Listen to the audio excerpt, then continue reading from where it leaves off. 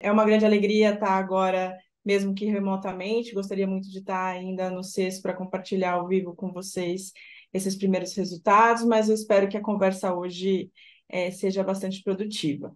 Bom, é, eu vou compartilhar com vocês hoje alguns dos pontos de uma investigação mais ampla, né, que eu tenho realizado conjuntamente é, ao professor Cristiano, desde o ano passado, como ele disse, quando eu estive no CES para realizar meu estágio de pós-doutorado. Né. Eu vou retomar aqui as linhas principais que têm norteado esse nosso trabalho conjunto, antes de avançar ao tema específico desse seminário, para que vocês compreendam um pouco o quadro geral no qual se insere é, o problema que a gente está levantando aqui para discussão.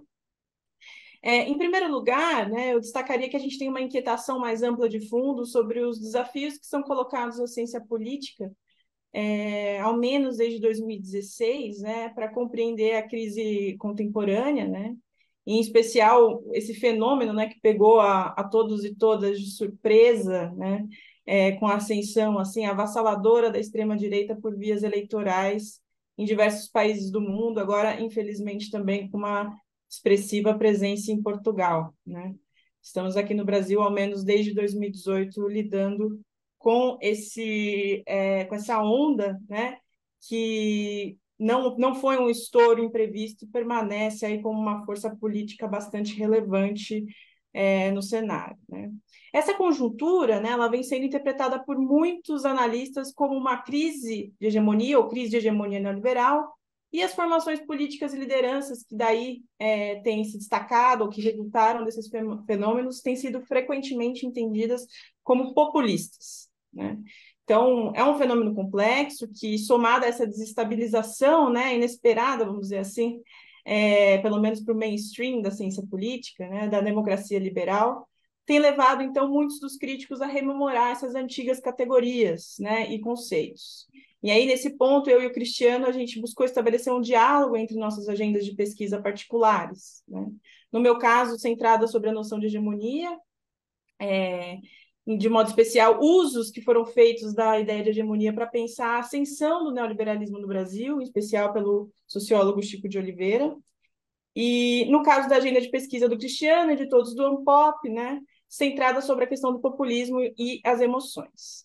Bom, é, a retomada dessas categorias, desses conceitos, né, para analisar a crise contemporânea, marca também, de certo modo, né, uma crise das próprias categorias que são forçadas aí a se reinventar, né, é, diante dos desafios novos que são colocados por essa realidade sócio-histórica que estamos vivendo.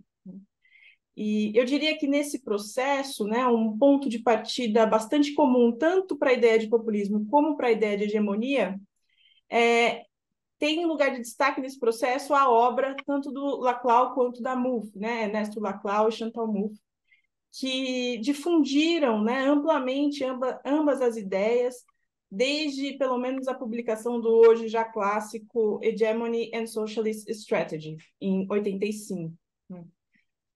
É, o livro ele tinha sido elaborado né, naquela, naquele momento de modo a sugerir justamente né, um caminho que ultrapassasse a lacuna existente entre a tradição marxista e os problemas postos pelo capitalismo contemporâneo de então. É, para os autores, essa lacuna estava principalmente relacionada aos campos da discursividade, né, que seriam cruciais para o entendimento das sociedades contemporâneas. Então, Laclau e Mouffe revisitaram né, para isso a categoria de hegemonia à luz desses problemas enfatizando como, a partir da elaboração gramsciana, né, eles não partem de Gramsci, na verdade, eles partem de antes, mas eles destacam que é a partir de Gramsci né, que a dimensão da hegemonia teria finalmente se tornado constitutiva da subjetividade dos atores históricos, né? não mais concebidos meramente como atores de classe, emprestado em termos estruturais ou meramente econômicos, ou seja, a hegemonia teria é, introduzido a dimensão da subjetividade como uma, uma dimensão fundamental para pensar a política. Bom, passada uma década e meia dessa publicação, né, em, em 2000, na introdução à segunda edição da obra inglesa, os autores lembraram que a dimensão da contingência e a concomitante autonomização do político, propiciada por essa elaboração de Gramsci, teria se tornado ainda mais visível no mundo contemporâneo, em que as rearticulações hegemônicas estariam muito mais generalizadas. Então, para dar conta dessa mudança, é, Laclau e Mouffe traduziam, e aqui vale destacar com um alto grau de abstração teórico, né, que é um, é um nível da análise bastante diferente daquela de Gramsci, que era, como eu vou falar um pouco mais adiante, mais voltada a casos concretos, históricos. É, eles traduziam né, o que seria uma relação hegemônica, entendendo como alto é, é, entendendo como possuindo uma dimensão universalista, né, que resultaria da específica dialética existente entre a chamada lógica da diferença e a lógica da equivalência. Bom, esses são, são temas é, bastante complexos, eu vou passar um pouco rápido por eles, mas é que eu acho importante antes de, de entrar é, no tema. Né? Então, é, embora os atores sociais ocupassem diferentes posições dentro dos discursos que constituem o tecido social, né, existiriam antagonismos sociais mais amplos, segundo Laclau e Mouffe, que criariam fronteiras internas da sociedade. Então, junto às forças opressivas, esse conjunto de particularidades estabeleceria relações de equivalências entre si. E é essa cadeia de equivalências em que certa particularidade assume a representação de uma universalidade que os autores deram o nome de relação hegemônica. Então, nessa concepção, as divisões sociais eram entendidas como inerentes à própria possibilidade de uma política democrática. É, então, aqui é importante destacar que a democracia né, era vislumbrada não como uma mera competição de interesses, que tomariam lugar num suposto terreno neutro. É, aliás, esse teria sido o erro né, em que os partidos de esquerda teriam incorrido nos anos 90. É, que ao tomar a democracia nesse sentido estrito, teria se tornado impossível alcançar a estrutura das relações de poder e nem ao menos imaginar a possibilidade de estabelecer uma nova hegemonia. A proposição dos autores, ao contrário, era de desafiar a hegemonia neoliberal a partir de uma plataforma de extensão das lutas por igualdade e liberdade a um alcance mais amplo das relações sociais. E para isso, definir um adversário era necessário de modo a retomar o elemento anticapitalista que sempre teria estado presente, segundo eles, na democracia social. Bom, mas como se dá então a relação entre hegemonia e populismo nessa perspectiva? Né? Em A Razão Populista, né, publicado originalmente em 2005, talvez a gente encontre a definição mais acabada do conceito por Ernesto Laclau. Em linhas gerais, o populismo seria uma lógica própria de construção política e não um tipo de ideologia, anomalia ou mesmo de um subdesenvolvimento irracional da democracia representativa. Ou seja, para Laclau, o populismo não seria incompatível com a democracia, não podendo ser resumido a relação de alienação pura entre liderança política e uma massa populacional. Na verdade, haveria aí uma espécie de convergência entre a política como hegemonia e a política como populismo, né? como sugerem alguns de seus críticos, como Arditi e Mazzolini.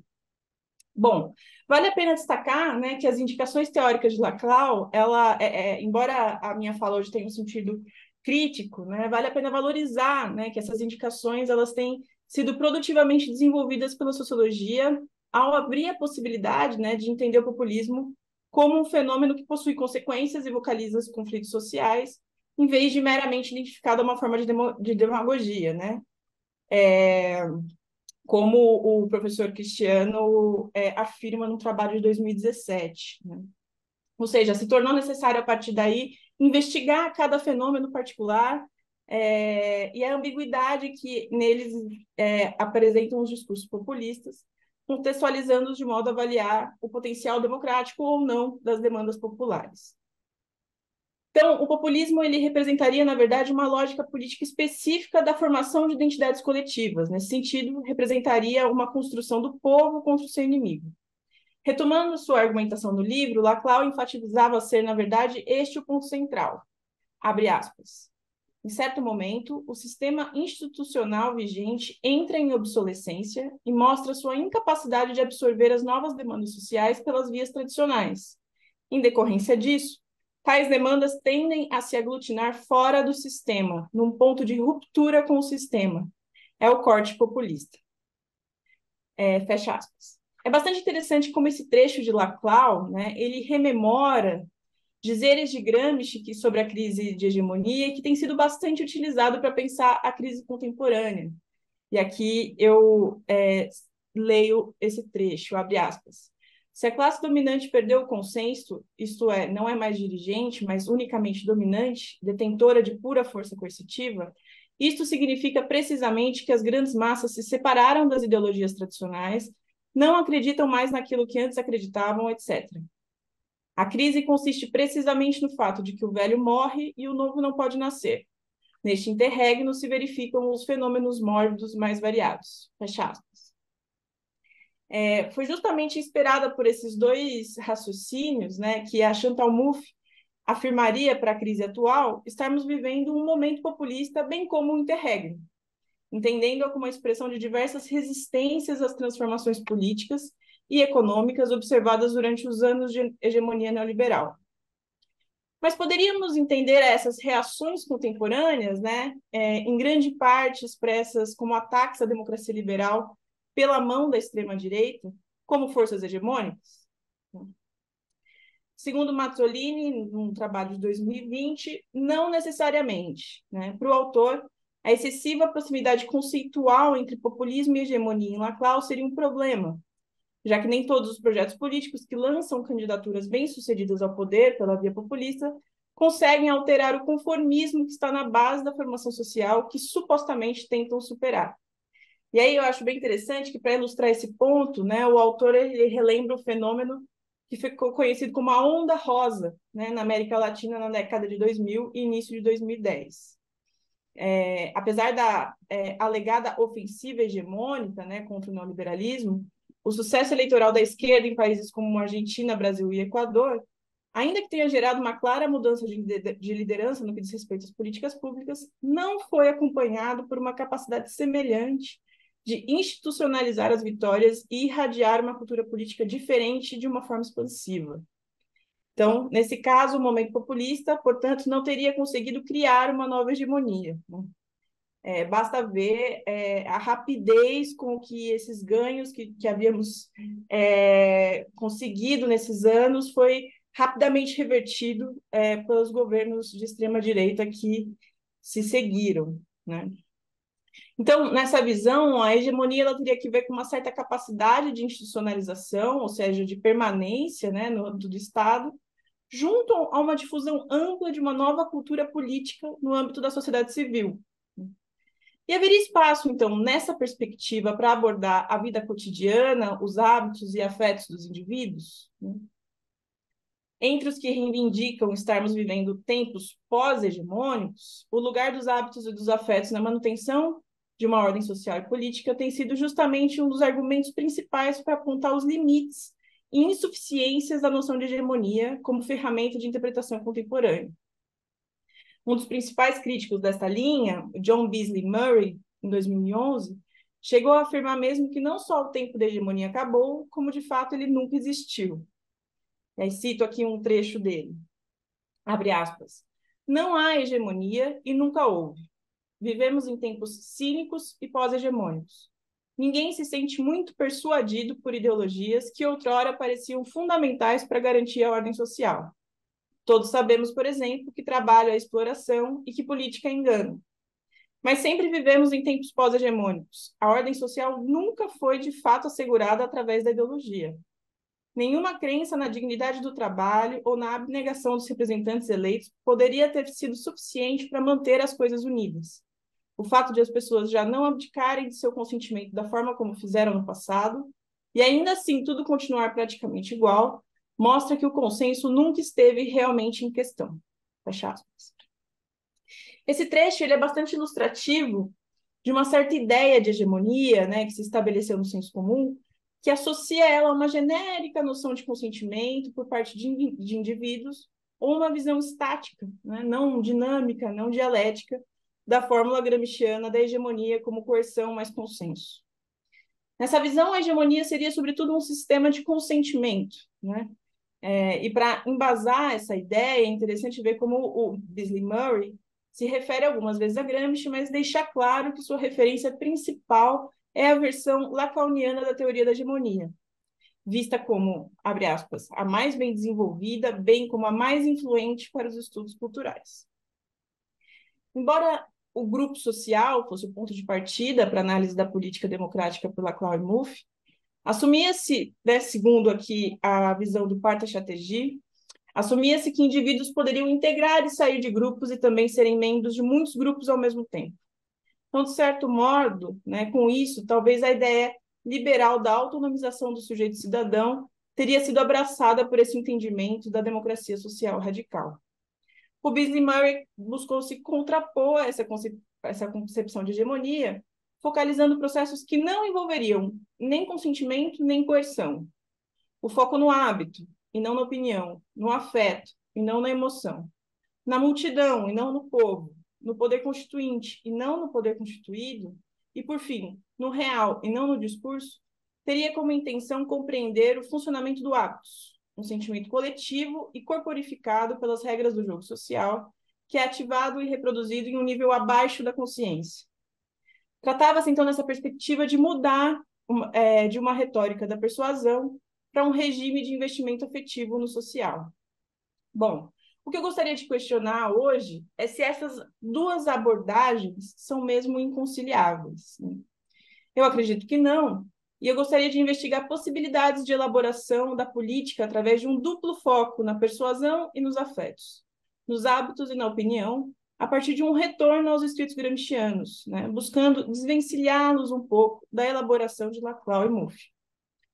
A hipótese, né, que está sendo escrutinada por mim e é, no, nesse trabalho conjunto com, com o professor Cristiano, é de que, em primeiro lugar, nem toda política populista se estabelece como uma ofensiva hegemônica, né? como é, tratei muito rapidamente aqui nessa introdução.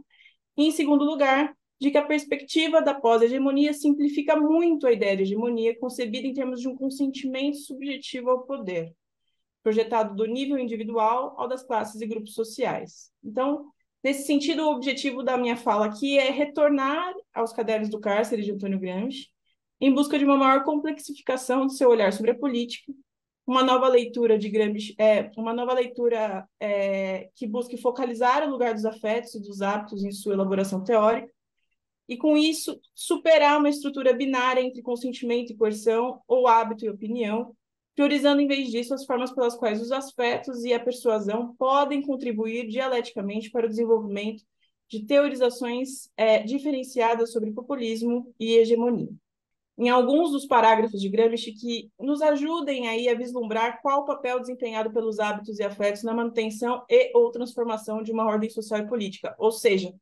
na manutenção, né, ou na superação de uma dada hegemonia. Em especial, eu vou fazer isso buscando destacar a forma como Gramsci abordou as percepções e os sentimentos das classes subalternas em seus parágrafos dedicados ao tema do senso comum, Bom, a mim, deixar aqui muito claro que minha intenção aqui não é definir conceitualmente o senso comum Gramsci, é, e apenas mostrar algumas elaborações e possibilidades de interpretação, até porque seria muito difícil achar uma definição conceitual, é, mesmo de hegemonia, né, já que o estudo de Gramsci ela, ele guarda algumas dificuldades que me parecem importantes mencionar. Então, é, escritos na prisão, né, como um conjunto de anotações organizadas a partir de um programa de pesquisa, os cadernos do cárcere foram produzidos em diversas fases e Gramsci trabalhava com vários cadernos ao mesmo tempo. O processo de escrita, né, embora muito complexo, não, não era arbitrário e obedecia, portanto, a esse plano. Né? Então, ler Gramsci guarda essa dificuldade, né, porque você tem que fazer junto uma tentativa de reconstruir a história interna desses cadernos, né, porque eles não são livros, não foram organizados pelo autor para publicação, né, mas registram ali o pensamento em ato é, é, nessas diferentes fases e diferentes cadernos. Né? Então, é, só dar essa nota metodológica antes de entrar a, no tema. Né? Bom, o senso comum ele aparece já na lista dos temas principais que Gramsci queria estudar e no programa que ele redigiu em fevereiro de 29 na prisão. Né? Então, a atenção é, ao, ao, à ideia do senso comum insere-se desde o início em seu programa de trabalho. Desde as primeiras passagens, é possível apreender dois modos particularmente diversos de entender o senso comum. Um primeiro seria como concepção de mundo difundida e muitas vezes implícita de um grupo social ou territorial. Nesse sentido, por exemplo, até os intelectuais teriam seu senso comum e, um segundo sentido, como oposto à concepção de mundo desenvolvida e coerente. Bom, eu vou me concentrar sobre o senso comum tal qual elaborado por Gramsci para pensar os grupos sociais subalternos, cuja característica principal seria o seu caráter composto, ou seja, heterogêneo, diverso e contraditório. É, essa ideia, né, o termo concepção de mundo, eu acho que inclusive é bastante produtivo para pesquisas empíricas, né? Indicaria aí um terreno mais amplo, né, sobre o qual surgem diversos graus de elaboração das capacidades do sujeito de interpretar a realidade e de agir no mundo. Né? Então, nesse sentido, entre a filosofia e o senso comum, não haveria uma diferença de valor, mas de grau. Assim, uma concepção de mundo poderia indicar tanto a filosofia do simples, o senso comum, quanto as concepções elaboradas, hegemônicas ou potencialmente hegemônicas, tanto as grandes ideias coletivas quanto as elaborações individuais, etc. Aqui eu cito um trecho é, bastante famoso do Gramsci sobre o assunto e que é bastante elucidativo. Abre aspas.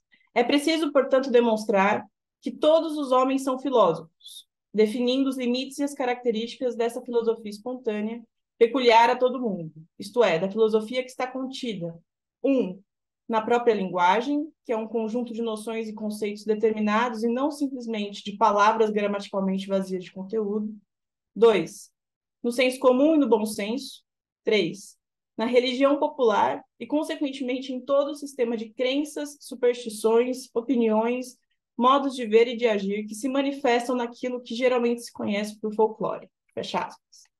Então, o ponto de partida de Gramsci né, era uma concepção bastante ampliada de filosofia. Né? Ele começa já dizendo que todos os homens são filósofos, ou seja, Todos os homens possuem uma determinada concepção de mundo, que pode ser aprendida na forma como se expressam pela linguagem e na forma como operam, como agem no mundo, seja pelo senso comum ou bom senso, seja pela religião popular. Daqui depreende-se a importância dada por Gramsci à vida cotidiana dos homens simples, a forma como vivem, pensam e agem no mundo. Não em momentos de franco conflito, nas revoltas ou rebeliões, mas ao contrário, nos momentos de aparente instabilidade. Então, o problema colocado né, era o de como superar esse senso comum, né, caminho que ele vai desenvolvendo ao longo dos cadernos através da ideia de filosofia da praxis. Então, em sentido estrito, a filosofia seria uma concepção de mundo criticamente coerente, uma ordem intelectual, a superação do senso comum.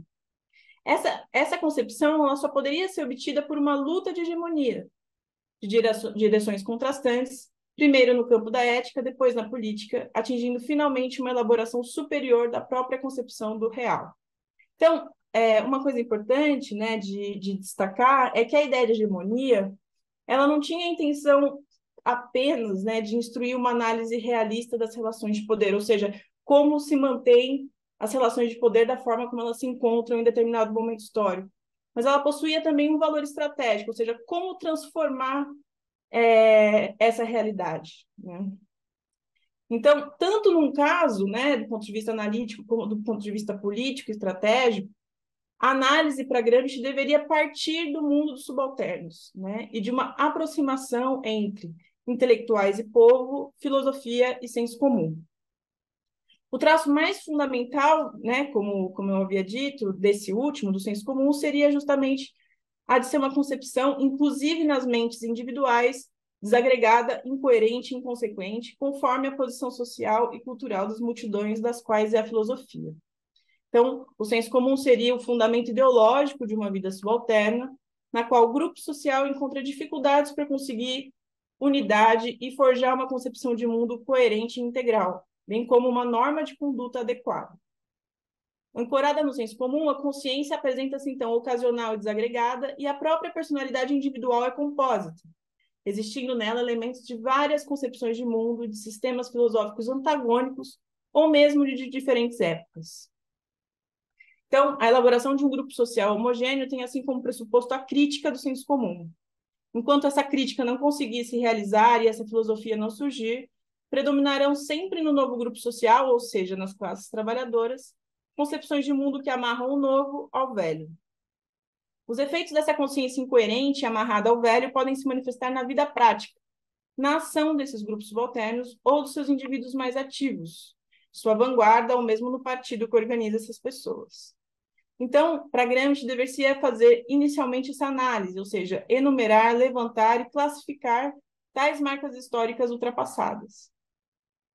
Acrescentando que seria necessário ainda proceder com uma certa ordem e método, né, segundo aponta a sequência sugerida por Gramsci. Então, partir do senso comum em primeiro lugar, da religião em segundo, e só numa terceira etapa dos sistemas filosóficos elaborados por grupos intelectuais tradicionais. Hoje não vai dar tempo de eu entrar muito nesse assunto, mas é muito interessante é, ver como Gramsci quase que identifica senso comum a religião. Né? É claro que ele estava pensando a Itália da época dele, mas acho essa uma sugestão para nós brasileiros muito interessante. Né? Eu pude participar de uma pesquisa em 2018, uma pesquisa eleitoral de entrevista às pessoas, e esse fenômeno tem se intensificado é, ainda hoje, e as pessoas usam muito a linguagem religiosa para expressar suas opiniões políticas. Então, há uma, uma, uma aproximação grande é, e bastante bem sucedida entre uma linguagem um certo tipo de linguagem evangélica e a defesa é, da plataforma política do Bolsonaro e uma disputa por outro lado através de uma linguagem do catolicismo popular identificada com uma plataforma do lulismo. Né? Em, em, ambos os casos, há uma formação é, interessante de um senso comum e de diversas linguagens religiosas para expressar essas plataformas. Né? Isso daqui é só um, só um parênteses. Né? Então, bom, esse método sugerido por Gramsci, né, para se aproximar do senso comum, ele pretendia evidenciar as características negativas, né, que eu, que eu vinha falando, enfim, a desagregação, a estratificação, a concepção metafísica, objetivante dualista da realidade, a criticidade, a passividade, mas também suas características positivas, as camadas progressivas, os veios dialéticos, a contraposição da cultura popular à cultura oficial. Então, por um lado, negar e, se possível, transformar as características negativas, por outro lado, saber reconhecer, valorizar e amadurecer suas, suas características positivas, né? ao que Gramsci chama de bom senso ou de núcleo saudável do senso comum. É, e aqui eu destaco um trechinho sobre o bom senso, sobre o senso comum do Gramsci, abre aspas. Em que reside exatamente o valor do que se costuma chamar de senso comum ou bom senso? Não apenas o fato de que, ainda que implicitamente, o senso comum empregue o princípio de causalidade, mas no fato muito mais restrito de que, numa série de juízos, o senso comum identifique a causa exata, simples e à mão, não se deixando desviar por fantasmagorias, obscuridades metafísicas, pseudo-profundas e pseudocientíficas. Fecha aspas. Isso é um trecho interessante, né? O Gramsci não viveu para ver a divulgação das fake news é, e a formação é, de uma de difusão assim é, sem paralelos de justamente obscuridades metafísicas pseudo-profundas e pseudo-científicas, mas esse é um dos trechos em que ele em que ele valoriza é, o que ele considera como núcleo saudável do senso comum, né? É, um, um desses traços seria a rejeição do intelectualismo como um fim em si mesmo. Né? Então, o bom senso, despertado por uma oportuna sacudida, aniquilaria quase que fulminantemente os efeitos do ópio intelectual, né, segundo Gramsci. Então, é, esse núcleo sadio né, do senso comum deveria ser desenvolvido e transformado em algo unitário e coerente. Então, é, o senso comum para Gramsci ele não é visto como algo rígido, imóvel, mas que se transforma continuamente enriquecendo-se de noções científicas e opiniões filosóficas introduzidas nos costumes. Ou seja, enquanto passivo, eviden evidenciaria atrasos, mas também apresentaria momentos elementares de elaboração crítica. Então, não seria, na verdade, o senso comum seria como uma espécie de inimigo a ser vencido, né? É, mas um ponto de partida para uma elaboração é, mais coerente, a partir da qual deveria se instaurar uma relação que fosse transformando se tornasse um novo senso comum. Bom, aqui a gente está amplamente no campo do pré-intencional, né? É, no qual a maior parte dos sujeitos não são apenas atuados, né? mas também definidos na sua subjetividade, no seu modo de ser individual e coletivo, pela ideologia e também, portanto, pelo senso comum. Um problema que se põe é como se combina esse caráter amplamente pré-intencional do senso comum, ou seja, todas essas camadas que são herdadas, né, e que se misturam é, na consciência de um indivíduo, com a atividade que deveria, é, de um centro de cultura que deveria desenvolver um trabalho para modificá-lo e criar um novo senso comum. Né?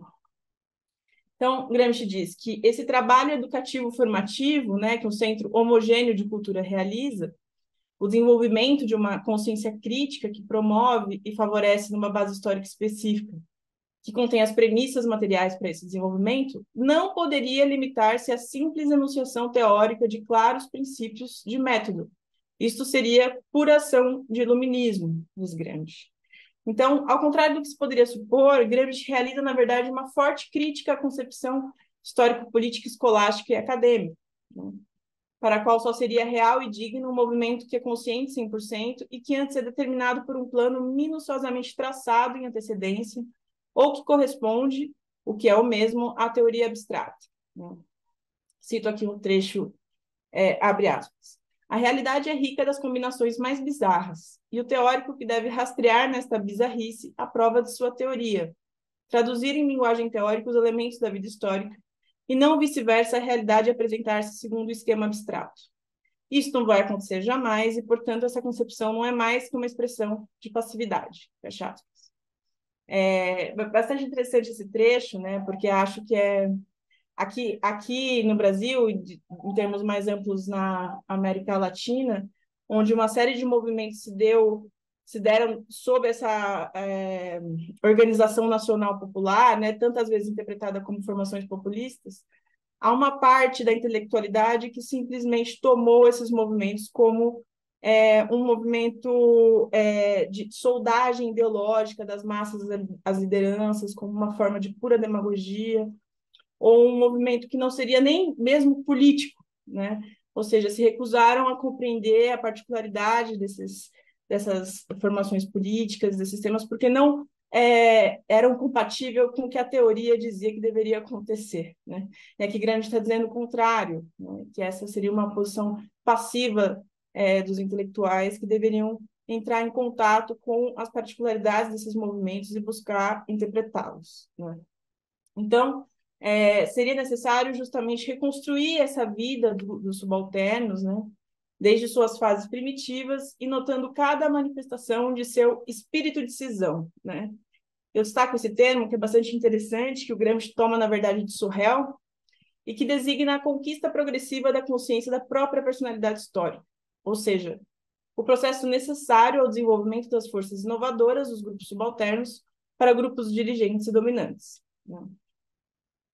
Expressão das necessidades nascidas no terreno da luta hegemônica, o espírito de cisão é o que se poderia contrapor às trincheiras e fortificações representadas pelas ideologias da classe dominante, isto é, pela organização material voltada para manter, defender e desenvolver a frente teórica ou ideológica e manter desagregada e incoerente a consciência subalterna. Espírito de cisão, então, seria a conquista progressiva da consciência da própria personalidade histórica. Né? É, mas como isso se dá? Primeiramente pela negação ou contraposição ao outro de classe, ainda que individualizado. E aqui é, eu vou é, ler para vocês um trecho muito interessante é, em que Gramsci analisa sobre, é, alguns desses sentimentos espontâneos das classes subalternas, pensando o caso italiano. Abre aspas. O conceito puramente italiano de subversivo pode ser explicado assim: uma posição negativa e não positiva de classe, o povo sente que tem inimigos e os individualiza apenas empiricamente nos chamados senhores. Esse ódio genérico é ainda de tipo semi-feudal, não moderno e não pode ser trazido como um documento de consciência de classe. É apenas o primeiro brilho, só é de fato a posição negativa e polêmica elementar. Não só a pessoa não tem uma consciência exata da própria personalidade histórica, mas também não tem consciência da personalidade histórica e dos limites precisos do adversário. As classes inferiores, estando historicamente na defensiva, não podem conquistar a consciência de si, senão pelas negações, através da consciência da personalidade e dos limites de classe dos adversários. De fato, esse processo ainda é crepuscular, pelo menos em escala nacional. Bom, o estudo desse desenvolvimento por parte dos grupos subalternos deveria levar em conta que toda força inovadora é, ao mesmo tempo, racionalidade e irracionalidade, arbítrio e necessidade, é vida, né? Citando aqui um trecho do Gramsci. Ou seja, é um processo contraditório e multifacetado. Né? É, a superação do senso comum ela não poderia ser feita sem levar em conta esses elementos populares que combinavam essas características. Como, por exemplo, o ódio aos senhores, né? É, como exemplo aí de sentimento espontâneo, um ponto de partida de um sentido de diferenciação dos demais segmentos sociais. Aqui eu abro um parênteses para um caso que eu estudei na minha tese de doutorado muito interessante, de um grupo de estudiosos argentinos dos anos 70, gramscianos, que partiram dessa ideia de espírito de cisão para fazer uma pesquisa, para observar os grupos diferentes que haviam é, entre o movimento peronista. Né? Eles estavam se opondo tanto aos intelectuais liberais como aos comunistas tradicionais, que diziam que o peronismo era um movimento fascista, né? eles importavam essa categoria sem se atentar ao que havia de específico naquele momento, ou era um movimento de pura alienação, né? ou pré-político. E eles demonstraram, de uma forma muito interessante, como havia grupos peronistas que a partir dessa plataforma, conseguiram se diferenciar socialmente e construir uma plataforma anticapitalista e radical naquele período. Então, havia, ou seja, através é, do peronismo, um sentido de diferenciação é, e bastante que, que os levaram a uma compatibilidade política e a, a, análises muito interessantes da realidade. Então, não tomar o peronismo como um, um fenômeno monolítico, mas pensar as contradições no interior deles. Né? Bom, é, eles foram atrás justamente dessa ideia de bom senso e, e, e fizeram a partir daí uma análise muito interessante. Bom, é, do ângulo, vou, fechando parênteses, voltando aqui, né, já estou caminhando para a conclusão, do ângulo intelectual, né, é, Gramsci considerava, portanto, um erro manter-se focado apenas no lado racional, eu peço desculpas agora por ler um trecho grande do Gramsci, mas eu acho que é um, um, um parágrafo é, bastante é, interessante e estimulante para terminar essa conversa. Né? O parágrafo chama Passagem do saber ao compreender, ao sentir e vice-versa. Do sentir ao compreender, ao saber. Então, abre aspas. O elemento popular sente, mas nem sempre compreende ou conhece o elemento intelectual sabe, mas nem sempre compreende e principalmente sente. Os dois extremos são, portanto, o pedantismo e o filistinismo, por um lado, e a paixão cega e o sectarismo, por outro. Não que o pedante não possa ser apaixonado, pelo contrário. O pedantismo apaixonado é tão ridículo e perigoso quanto o sectarismo e a, e a demagogia mais desenfreada. O erro do intelectual consiste em acreditar que se pode conhecer sem compreender e principalmente sem sentir. E ser apaixonado, não apenas pelo conhecimento em si, mas pelo objeto do conhecimento. Ou seja, que intelectual pode ser tal, e não um puro pedante, se distinto e desligado do povo-nação, isto é, sem sentir as paixões elementares do povo, compreendendo-as e, portanto, explicando-as e justificando-as na situação histórica específica, e ligando-as dialeticamente às leis da história, a uma concepção superior do mundo elaborado de forma científica e coerente, o conhecimento. A história política não pode ser feita sem esta paixão, isto é, sem esta ligação sentimental entre intelectuais e povo-nação. Na ausência dessa ligação, as relações do intelectual com o povo-nação são ou são reduzidas a relações puramente burocráticas e formais. Os intelectuais tornam-se uma casta ou um sacerdócio, se a relação entre os intelectuais e o povo-nação, entre os dirigentes e os dirigidos, entre os governantes e os governados, se dá por uma adesão orgânica em que o sentimento paixão se transforma em compreensão e, portanto, em conhecimento, não mecanicamente, mas de forma viva, só então a relação é de representação e ocorre a troca de elementos individuais entre governantes e governados, ou seja, realiza-se a vida coletiva, que é a única força social. O bloco histórico é criado. Fecha aspas. Então, é, Para Gramsci, né, o sentimento paixão seria esse nexo que tornaria orgânica e viva a relação entre governantes e governados. Né? Não haveria história nem política sem, sem, essa, sem essa paixão, isto é, sem essa conexão, essa ligação sentimental, sentimental entre intelectual e povo. Sem que os intelectuais sejam apaixonados, ou seja, sintam as paixões populares e, portanto, saibam compreendê-las e explicá-las historicamente. A conexão sentimental, então, era um ponto central da teorização de Gramsci sobre a hegemonia, bem como sobre a consciência. O homem era concebido como um bloco histórico de elementos puramente subjetivos individuais e de elementos de massa e objetivos ou materiais, com os quais estaria sempre em relação ativa. Então, transformar o mundo exterior, as relações gerais, significava também fortalecer a si mesmo, desenvolver a si mesmo. Para Gramsci, seria uma ilusão e um erro supor que o melhoramento ético seria puramente individual. A síntese dos elementos constitutivos da individualidade é individual, mas ela não se realiza e desenvolve sem uma atividade para fora, transformadora das relações externas, desde aquelas com a natureza e com os outros homens em vários níveis, os diversos ciclos em que se vive, até a relação máxima, que abarca todo o gênero humano. Por isso, é, é, seria possível dizer que o homem é essencialmente político, né? Já que a atividade para transformar e dirigir conscientemente os outros homens realiza sua humanidade, sua, entre aspas, natureza humana. Então, se a consciência não é separável dos homens e de sua história, ela não pode ser uma entidade estática e nem única. Existem antes diversas consciências e contraditórias de acordo com a diversidade e a contrariedade das relações sociais. Nos grupos subalternos, né, como eu busquei mostrar aqui, a desagregação seria mais grave, sendo mais forte a luta para se libertarem dos princípios impostos e não propostos, para obter uma consciência histórica autônoma. Para Gramsci, então, a consciência era um processo múltiplo e multiforme. Em algumas fases, ela ainda não está elaborada como nova linguagem verbal própria de um grupo, de modo que possa exprimir e elaborar em forma explícita, orgânica, coerente e homogênea as novas necessidades expressas, sim, em nível operacional. Por isso era necessário começar essa fase de elaboração crítica, ou seja, aquele inventário entendido como um conhece-te a ti mesmo, ou seja, trabalhar para produzir a passagem do saber ao compreender, ao sentir e vice-versa.